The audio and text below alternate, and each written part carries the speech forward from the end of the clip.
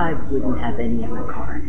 They're comparable in price to a Chevy or a Ford, Cadillac, but you get the best engineering. You get top of the line service. And I mean top of the line service. When I come here, it is a joy.